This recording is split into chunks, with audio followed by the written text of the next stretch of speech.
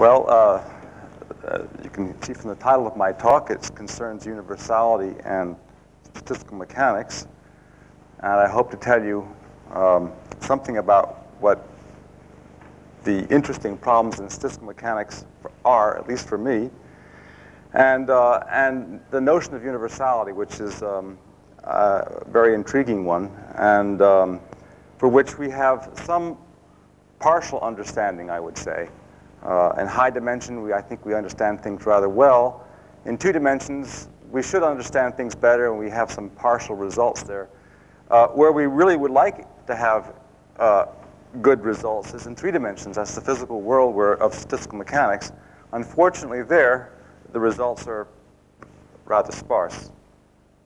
So um, to describe universality, I first have to give you a sense for what a phase transition is, because uh, universality really concerns phase transitions.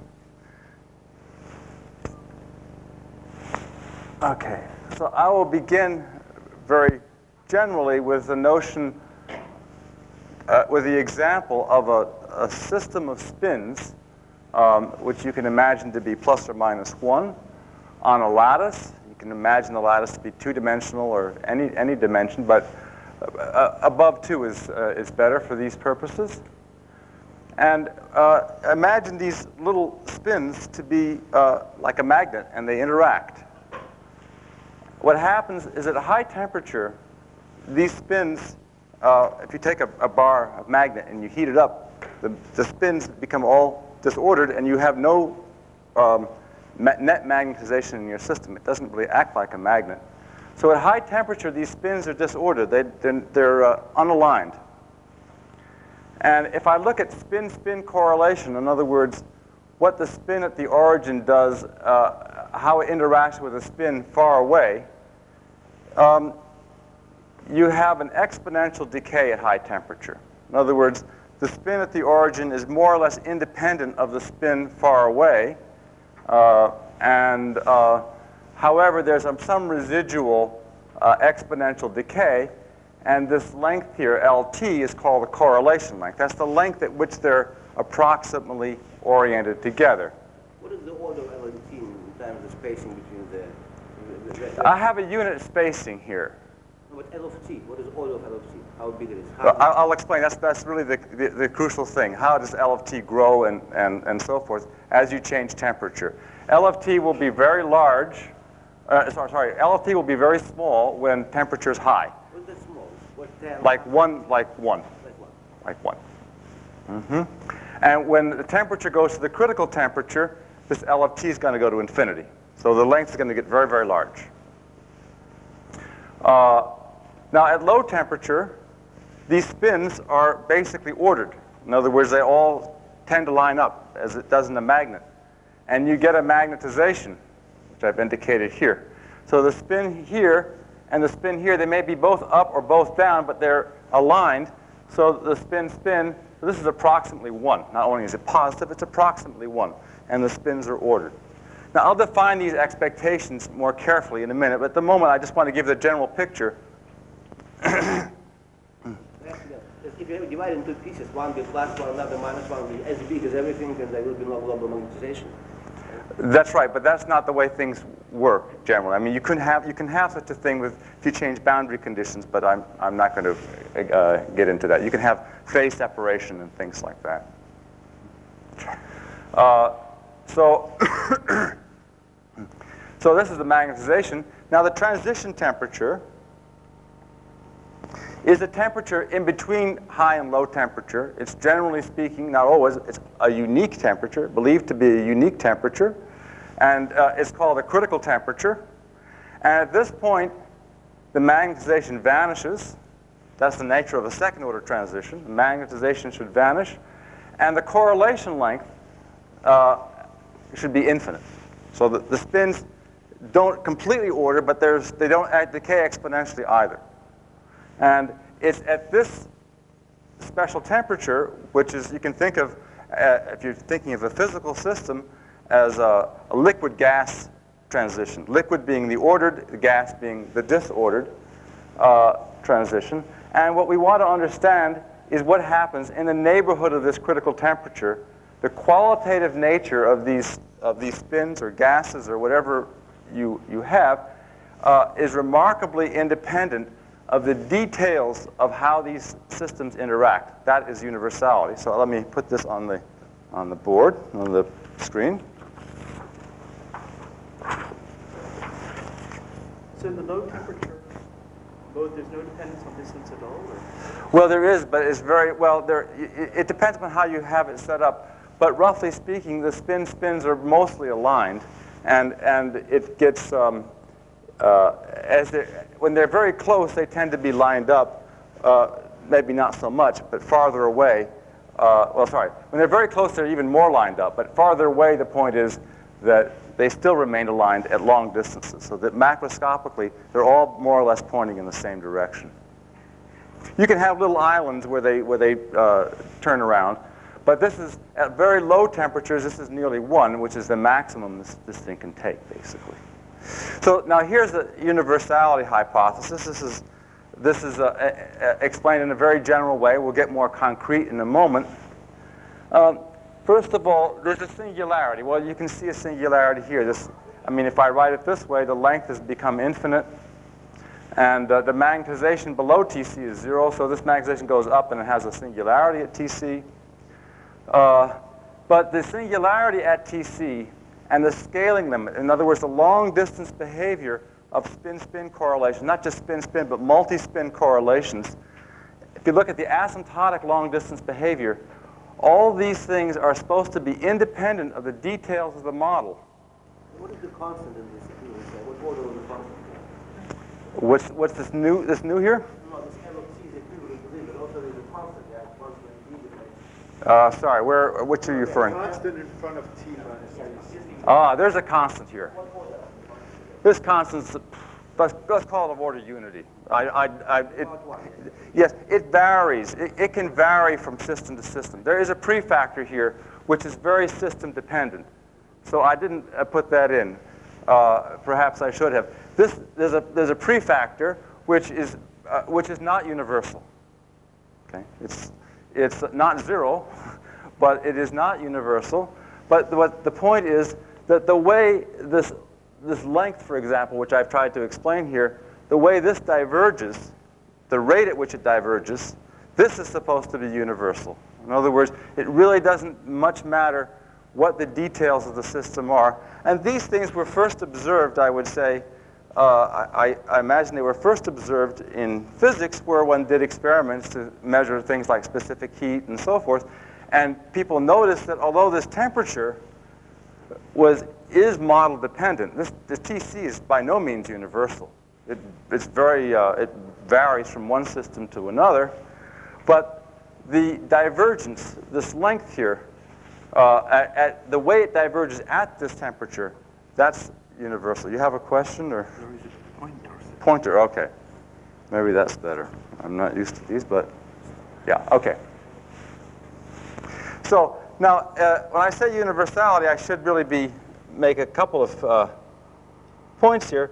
It's independent, as I say, of the details of the model, but it does depend upon a number of things which are important and one cannot neglect. And this is only a partial list of things it does depend upon.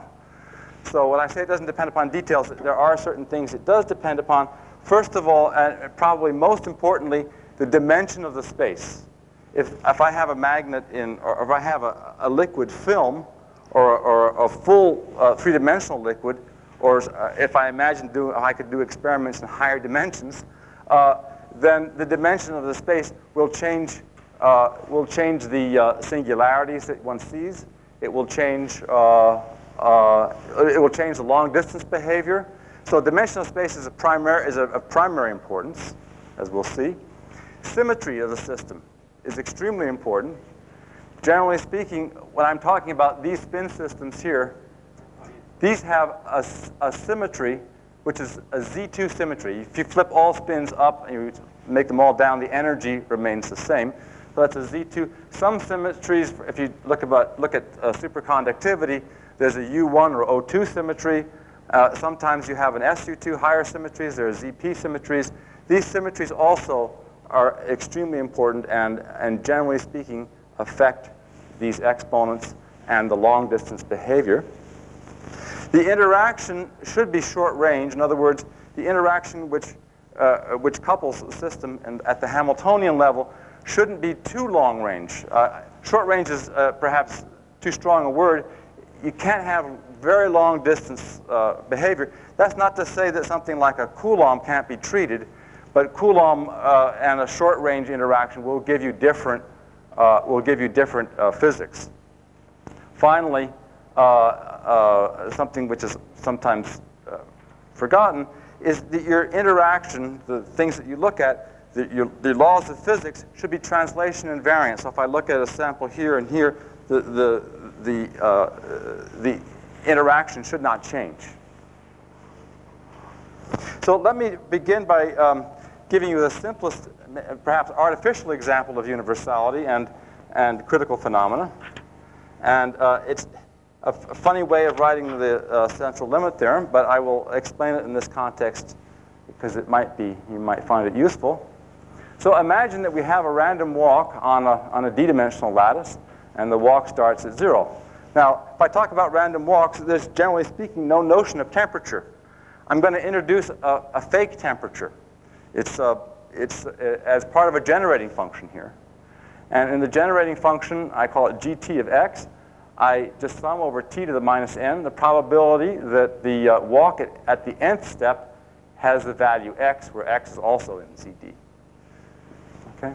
Now, it's easy to see that um, since probability can't be bigger than 1, this converges for t bigger than tc. Okay?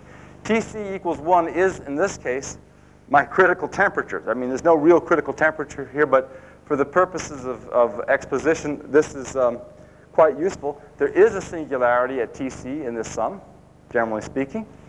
So let's see what happens. This sum can be explicitly uh, done, and it is basically the Green's function of minus Laplacian with some coefficient, depending upon the details of how the walk, the random walk is set up, plus uh, t minus tc. Well, tc here is 1. So if the temperature is above 1, you need it to, be, to make the thing converge. We just have a Green's function of a Laplacian with a mass. I think of this as being the mass. And if you're at tc, the, the uh, this difference is, uh, sorry, this difference is 0. And the Green's function decays like x to the minus d over 2. And that's more or less independent of the details of how the walk is set up. Uh, and uh, at TC, that's at TC. Now for t not equal to CTC, this thing decays exponentially fast because of this killing factor. And it decays with a length which is t minus TC to the minus a half power. So the length uh, is, uh, is divergent, as it, as it should be, with this nu equal to a half here. And the scaling limit for, of course, random walks in great generality uh, the, the, the, steps of the walk don't have to be independent, but you have to have some asymptotic independence. And then the, the, um, uh, the scaling limit here is going to be Brownian motion, which has all kinds of additional symmetries that is not present in the original random walk. So this is perhaps the simplest example of universality. The central limit theorem is a very simple and uh, uh useful example of universality. This, this, this d here, function, yeah. that's like a diffusion constant. So how do things depend on the oh. They don't really depend upon dimension except right here. So, so you assume some distribution of probabilities. Yes, and the, and the details of the probability distribution I, I'm not going to get into. And, and, and the point is, they may affect this constant d, but they will not, and they may affect this constant c, but they will not affect this d minus 2 and they will not affect this uh, power half. Again, as a prefactor, which I've omitted, it may, it will definitely affect this. Okay? So, so the singularities and the long distance behavior are, are, um, are what's universal here, as long as it's a random walk in any reasonable sense of the word. Now, let me turn to the Ising model. Um, maybe I'll come back to this, because I don't think I need this right now. Uh, Maybe I'll come back to that later. So the Ising model, where I want to make this spin, uh, this is the this is the classic example of uh, of a model in statistical mechanics. And um, it's a more precise version of what I was telling you uh, at the start of the talk. We have spins which take values plus and minus 1. They're labeled by uh, points in the, in the lattice, and I, I stick in to a big box uh, so I can uh, make sense of some of my sums.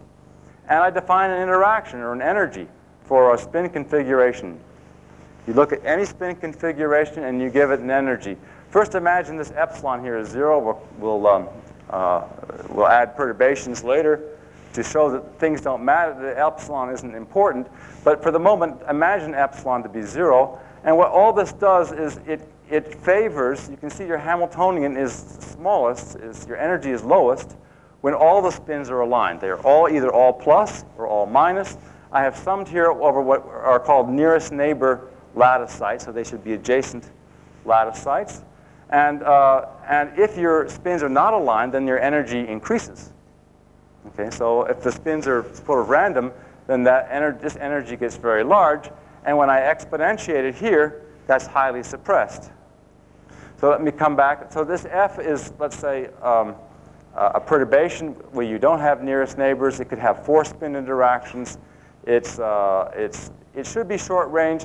And this is what I mean by short range. The, the decay is a function of j minus k. That's the translation invariance, which I have to insist upon. And then the k of r decays, let's say, exponentially fast. I could put any prefactor here I wanted to, as long as I have some kind of exponential decay. Exponential decay isn't even necessary. You need some fast power law. If your power law is too slow, then, then universality uh, will, will fail. So uh, the, the power law, should, just imagine it's exponential for simplicity. And then we form what's called the partition function, which is a generating function, if you like. You look at the energy of the, of the spin configuration, you exponentiate it. This is the Gibbs weight. And you divide by the temperature divide by the temperature. So see, if the temperature is very, let's say, is very low, that means that this is, um, this is a small number. That means that this, the effects of the Hamiltonian are uh, at low temperature, you want this to you want to minimize the energy, otherwise you get a very small contribution. And when you minimize the energy, all the spins want to point in the same direction and therefore the sigma j's are all ordered. They're all either all up or basically all down in the limit that the temperature goes to zero. And at positive temperature, there are just fluctuations around that. And again, if the temperature is high, that means T is very large, then the effect of this uh, Hamiltonian is, is, uh, is very uh, is negligible. If this T is large, it just divide, you're dividing by a large number. And then the spins are just basically just take values plus and minus 1. So you get a random sequence of, of numbers uh, with, um, and, uh, and so uh, these spins, uh, the spin at 0 and the spin at x don't know about each other, and they decay basically exponentially fast. And of course, it's at the intermediate temperature where the transition takes place. Now, uh, th there's a, uh, famous um, solution to this problem that was um, given by Lars Onsager in, um, come over here, by Lars Onsager in, uh, uh, in the 40s. And what he was able to do, among other things, was to compute the uh, partition function.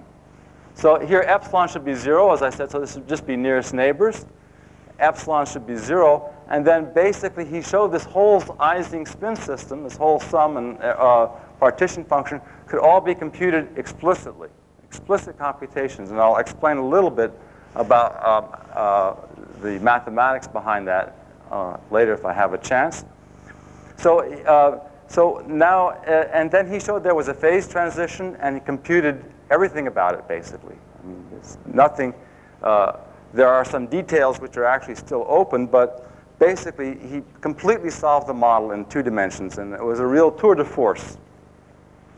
So, um, so uh, to explain um, uh, the phase transition here, let me uh, do something else, which is to compute what's called the free energy, which means I take the partition function, in other words, this generating function here. You sum over all the spin configurations weighted, uh, divided by temperature. And then you take the log, because the thing grows, as the volume gets big, this thing grows exponentially, so you should take the log and divide by the volume, and take the limit as the volume goes to the, uh, to Z2. And this is, uh, this is the thermodynamic limit, and this limit exists in, under great generality. It's not, uh, this is called a free energy, and uh, it depends upon epsilon. As I say, he, he computed the case of, of epsilon equals zero. Now, uh, here is the, um, here's what Onsager discovered, that for epsilon equals zero, this f of t is analytic as a function of temperature. The variation in temperature is completely smooth, except when t is equal to tc, uh, which can depend upon epsilon. But, uh, but he only treated the case epsilon zero. Um, and at t equals tc, uh, there's a singularity. The singularity is captured, is, uh, can be seen in the second derivative. And the second derivative has a log divergence. Okay? And the spin-spin correlation has a, um, uh, has a divergence. He also uh, calculated that. The length is t minus tc to the minus 1. And if you remember, for random walk, we found it was minus a half. So this is a little different. Um, and what uh, uh, Pinson, Haru Pinson and I have recently done is to show that all of Onsager's results, uh, not surprisingly, uh, go through when I have a small perturbation of almost any kind, as long as it's reasonably local and even, something like this would be fine. And uh, so this is, but the temperature changes. Okay, these constants change. We can't compute these constants, but we know that the singularities, and th- this is a prefactor here which changes, but this singularity, this one, this log, are unchanged. So the singularity is the same. Uh, we need to require, unfortunately, that this epsilon is small. I mean, This is a numerical result, no, no, this is a rigorous result. for our rigorous result. There's a rigorous, see, so there's an exact solution for epsilon equals zero. That's Onsager. For, yeah, I mean, for, for k, for arbitrary k. Yeah, for arbitrary k, we can do this provided the epsilon small and the k has some exponential decay. So th- there's a rigorous result that says that even though we can't solve the model exactly, it's no longer integrable for epsilon positive, it's still, the integrability captures all the singularities that Onsager saw, and there's no difference. And the fact that these singularities don't change is universality. It's a form of universality. The critical temperature depends only on epsilon and not on T. Oh, it does. It depends upon epsilon, and it depends upon k, and it depends upon a host of things. Absolutely. It depends upon k. It depends upon all the details of f. But I've only indicated the, the fact that it has an epsilon dependence, so I don't have to keep too many other indices. Yes, Lisa. Power law, is it experimentally verifiable? Is it experiment? Yeah, well, this is two dimensions, so you have to look at certain films. I, I imagine it can be done. I wouldn't want to say for sure. I know that I know that, that it has been done for spins which take continuous values, and then this is this is all a bit different. So you have an O2 symmetry, and they've done experiments on liquid helium films, and then they agree very very I well. mean, the Heisenberg model. Uh, no, this is O2 model, O2. So it's a like a superfluid film. Do you have universality in that case? Yes. Yes. Yes. At the- well, at the, at the, what's called Kosterlitz-Thouless edge, there's universality. But let me not get into that. So let, let me stick with a simple case here. And uh, uh, so, as I say, what's universal are these, uh, uh, uh, how the lengths diverge, uh, uh, how the, the, the asymptotic behavior of spin-spin correlations, and so forth. Now, um, let's see, there's more to put up here. But let me go to high dimension now. I've, I've talked about two dimensions, and I said we understand high dimension reasonably well. So let me tell you what we understand about high dimension.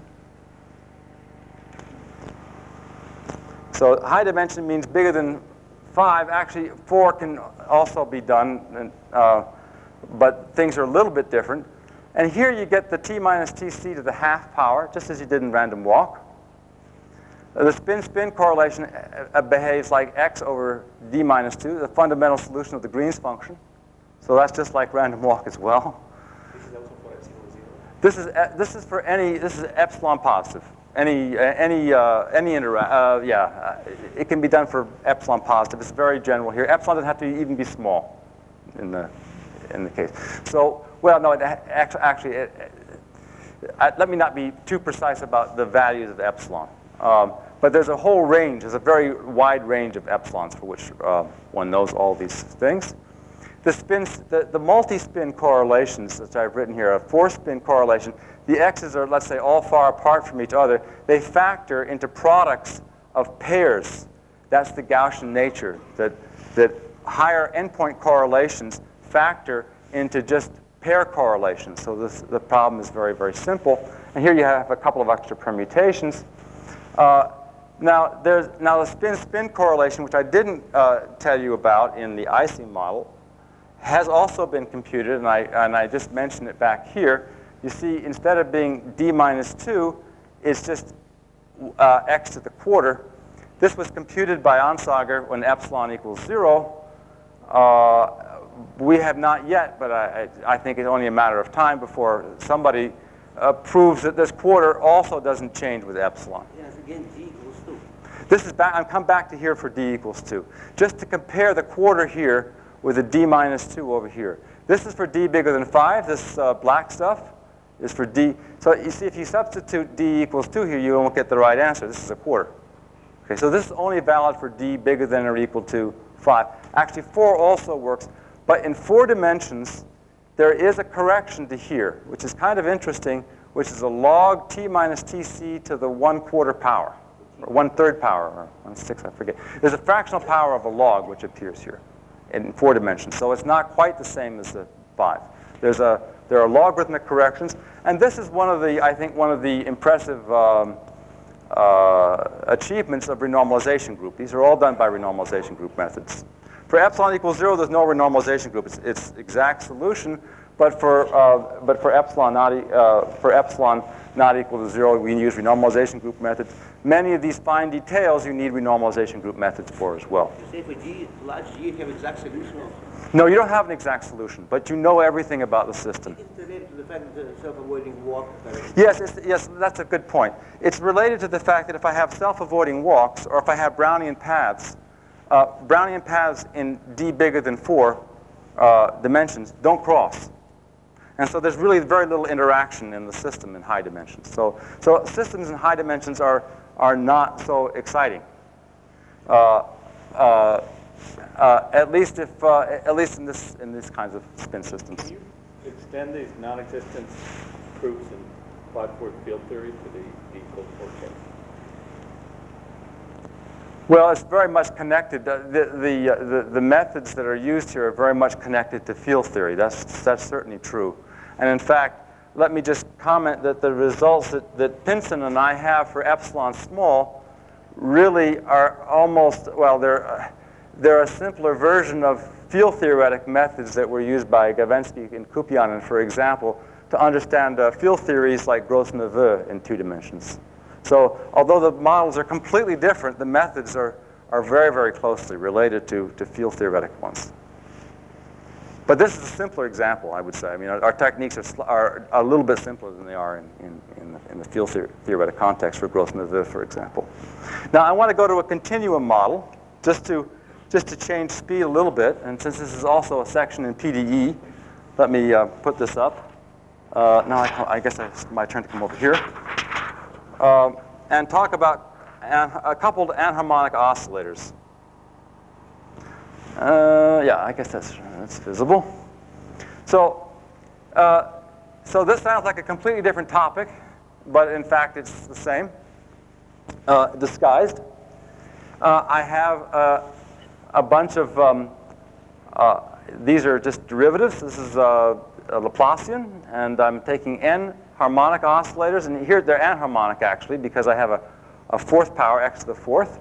It has two wells. It has, uh, it has xj, uh, xj equals b, xj equals minus b. That minimizes this, so there are two wells. So it's a double well anharmonic oscillator, and they're all, they're not independent because they're coupled by nearest neighbors. Okay? Now notice that when lambda gets very near 1, lambda gets big, xj is plus or minus b approximately.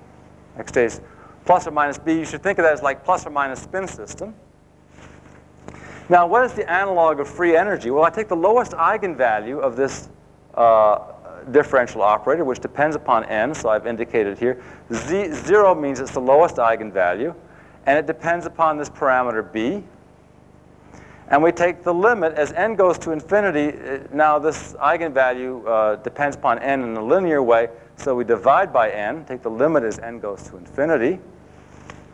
And then uh, the statement is for in two. Well, this is a this is a chain. So the statement is uh, that for lambda very large, it's lambda right here, very big, there exists a beta critical. The second derivative of this has a log singularity, just as it had in the Ising. The uh, the energy gap is beta minus beta critical. That's like uh, uh, that's like this minus one that we saw in uh, in the correlation length divergence. So there's a one here. The first power I haven't put it in, but that one is like the the uh, the one in the correlation length divergence. Now, if you do the same thing in higher dimensions, in other words, this this index i lies on the lattice of dimension bigger than four, then you get b minus b critical to the half. So this is very closely related to the Ising model. What are EN0 and EN2? Yes, sorry. E0n is the lowest energy eigenstate for this. Okay. It's not. A, it's a linear problem. It's a linear problem with a, a double well. Okay. So it's a set of coupled anharmonic oscillators. It has a ground state, and the two here that represents the uh, the second excited state, not the first, the second excited state. And the difference between the first and the second excited state behaves like B minus B critical for B near B critical. So for example, the, the, the, if B is not equal to B critical, there's a gap between the second, the lowest and the second eigenstate. But as B equals B critical and n goes to infinity, I should have said had a limit here, n goes to infinity, the, the, this, this gap, this difference between the lowest eigenstate and its second excited state goes to zero at beta critical. Okay? So the, the lowest, the low state is absolutely periodic, absolutely symmetric state. Yes, that's right. And then there's a second excited state. They are, they are Yes. Right. I should have a limit here, n goes to infinity. In other words, the, I have to take the limit that n gets very large for this result to hold. Because if I don't, then there's always a gap between the first and second excited states, because it's a compact operator, so it has a compact resolvent, rather.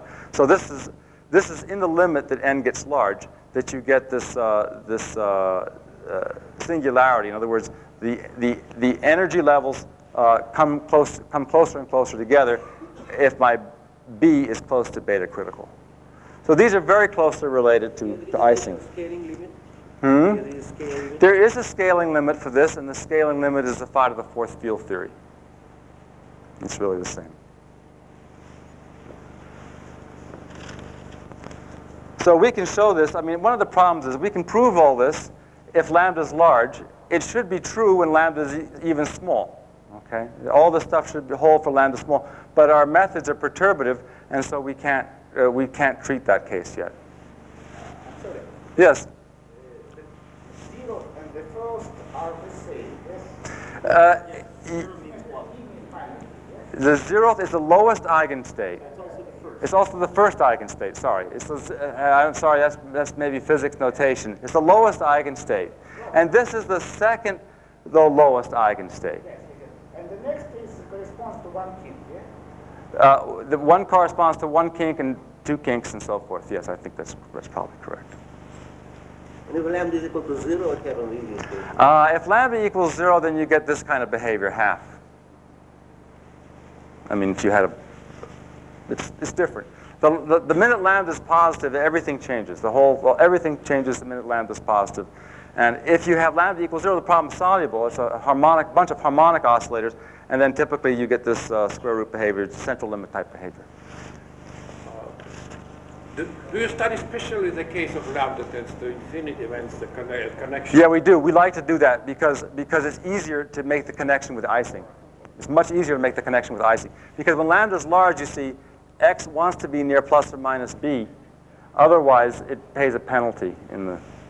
Now, I should say, we don't, when, when, to do this, this is a problem in differential operators, if you like. However, uh, we do not analyze a differential operator directly. We analyze it through Feynman-Kac. So you, you really need a you need, really need functional integral approach to treat these things. You, you cannot, I mean, we cannot, and I don't think anybody's been very successful at treating this thing, especially in the limit of large n, directly at the PDE level. You need the path integrals to, uh, to control the, uh, the low energy behavior, especially near the critical temperature. It's essential. Now, let me uh, make some, uh, give you some idea about what's special about two dimensions. and this, uh, this transparency may not make a lot of, mean a lot to some people, but uh, in two dimensions, there's something quite uh, remarkable that happens that was uh, Uh, essentially discovered by Onsager, but certainly not stated in this language. And the statement is, just imagine this epsilon is equal to zero for the moment, is that the partition function can be written as what I call a Grassmann integral of something which is quadratic. You have a, this phi here is a field and another field here, which I'll explain in a second. And we're integrating over the fields. Now, if these fields were, were real numbers, which they are not, this would be a Gaussian integral. Okay? These, however, are Grassmann integrals, and the fields which you see down here actually are anti-commuting. Is this the Ising model where you? Ising model, yes, sorry. This is Ising model. This is the partition function for the Ising model. And at energy at epsilon equals zero, when I just have the nearest neighbor case, it is exactly representable as a kind of Gaussian integral with, uh, with a matrix up here, which is really a, a Dirac operator. And you see that at t equals tc, this matrix element vanishes. And, when I, and therefore, this, the inverse of this has a singularity. It's a, it's a fundamental solution to the Dirac operator, and you get power laws and so forth that come out of that. It's a continuous model. It's This is a this is a discrete model. Actually, this is the continuous limit I've written here.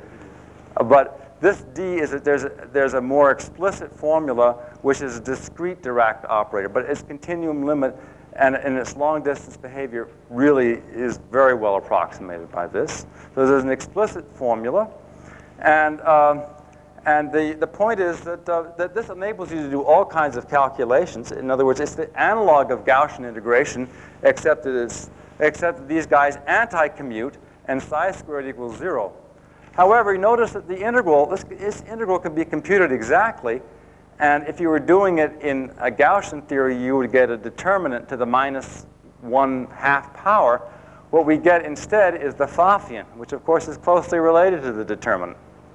So this fact that this is a Pfaffian when epsilon equals zero uh, means that we can do virtually all computations almost as if they're Gaussian. There are various sign changes one has to keep track of. And of course, the operator that goes behind that sits in here is not a second order operator as we have in Laplacian or as we have in random walk. It's a first order operator. And that changes the nature of, of, uh, of uh, the critical phenomena. The fact that this is a first order rather than a second order operator as we would have in, in uh, random walk, for example, which is generated by Brownian motion. Or uh, generated by has a generator which is Laplacian. So that's a second, this is the first order operator, the other one's uh, second. So that's, that's part of the, uh, that's, that's, that's, that's one of the main mechanisms that we have. Okay, now I realize my time is um, perhaps almost gone. Uh, but let me mention a couple of other models which are uh, related to cellular automata. I'll just have a few, few minutes to say something about this. So this is a, uh, this, there are more conjectures here than there are uh, real theorems, but that makes it, uh, I think, interesting to look at. I'll put everything up at once since my time is running out. This uh, last two transparencies are really to try to explain how things like Ising models may be related, presumably are related, to dynamical problems. And they're very simple dynamical problems to state and understand. this is what's called majority vote and noise. Here we have spins which have a time dependence in addition, and we have a discrete time. So uh, the spin at time t plus 1 is related to the spin at time t. And what it does is it, to figure out what it's going to do at time t plus 1, it looks to itself and its four nearest neighbors and, and uh, looks at what they have to say. If you are plus and your four nearest neighbors are minus, then according to this rule, you would flip to minus. Uh, if you're all, uh, if, if, you're, uh, if you're plus and you have uh, two other neighbors who are also plus, then you will remain plus. And this happens with probability 1 minus delta. And then, so you're voting according to yourself and your four nearest neighbor majority. And then, and then at, at uh, so you do this with probability 1 minus delta. This would be completely deterministic if delta were 0. And then and then now you, once in a while you make an error. You don't, you, don't, you even haven't counted right or something. And, uh, and you get this, and you just put plus and minus 1 randomly. Okay? And you do this, you, you update sequentially, all these probabilities are independent, and you try to understand. Uh, you start, let's say, with all pluses to begin with, and you, you try to understand what happens, what, what happens with noise. And, uh, and what's maybe a little surprising is that for, if you do this in one dimension, uh, there's a unique invariant measure, which means what? It means that if I started with all pluses or I started with all minuses, and I look at the thing for very, very long times, I will not know which data I started with. The noise takes over the system. No matter how small. No matter how small. Okay? Unless it's zero. then of course, then of course you remember everything. And if you start with all, if you start with pluses, you will remain plus forever. And you start with minuses, you will remain minus forever. But the minute you introduce the noise, it will destroy your memory of what the initial data was. And that is reflected in the fact that there's a unique mixing invariant measure for all delta positive. Okay. GAC is a person? Yes. GAC is a person. CA? CA is cellular automata. Oh. Okay? So so this is the D equals 1 uh, result for the majority vote. Now, if I have a noisy cellular automata, but, and I can make the rules as I like, if I have a freedom to make the rules, but my rules should not be very long range, should be short range rules and translation invariant, then, then it, rather surprising things can happen which are quite different from this. Peter Gács at Boston claims, and uh, it's a very difficult proof, that, that he can find noisy cellular automata uh, in other words, put the noise in something like this, for which you have infinitely many, in fact, uncountably many invariant measures. That means that you remember your initial data. Coming back to G1, you, you allow cellular automata of this particular one. Uh, the, the Gács, he, oh no, this is, this is particular for this particular. Not known for general. It's not, not known for general. No, it's known to be false. There is a. Somebody here who knows that I should prove it. It's, it's, it's certainly not true in general. But, but- equal one is not counting examples, very subtle counting examples. But equal one, yeah, it's not really general. Yeah, it's not true in general. Probably they have a s- integrable cellular automata, they are existing. Well, integrable would mean, uh, and, and these problems would mean that you have an invariant measure which you understand exactly, and, and there are such things, certainly. There are such things. Yeah. So now let me go to two dimensions. Two dimensions. Uh, where's the, oh, two dimensions over here. I already have it on the, on the screen. Uh, for delta small, there, the conjecture there are two invariant measures. This is still not known as far as I know, except in very special cases of, of special, specially adapted noise. So that, that depends upon the, the initial conditions. You get two invariant measures which uh, are sensitive to your initial condition. All pluses remain plus, all minuses remain minus. This seems like an obvious fact. It's not, unfortunately, obvious. I, I thought I could uh, I thought it would be easy to prove. I spent a, a, few days thinking about it, and, and people have spent a lot longer than I have. And it's apparently a difficult problem, although it's intuitively clear that it happens. It's certainly true numerically. Now, here's the conjecture that brings us back to Ising. That at the critical, see, there's a, if your noise, there's a critical noise. If your noise is very strong, everything becomes disordered. If your noise is weak, then, the, uh, then of course you should have some kind of order. And uh, the conjecture here is that at the critical noise, there's a unique measure, which is basically like the two-dimensional Ising model at the critical temperature. And the general problem that we would, uh, that is very difficult in general, but I, I put it up here because it is, I believe, a, a very important problem in statistical mechanics, to understand properties of the invariant measures for stochastic PDEs, which this is a very baby model for. Uh, there are models like Kardar, Parisi, Zhang, and to what extent there is universality. Like, well, here I'm asserting this, there's some universality, that you get back Ising at TC. These are just conjectures, but I think, uh, I think these uh, problems with dynamics are one of the more interesting ones that are wide open in statistical mechanics. And part of the reason is because we don't have the measure in our hand. We don't have it explicitly. It's only determined implicitly by the, by the dynamics and, and the noise. So I will stop there already.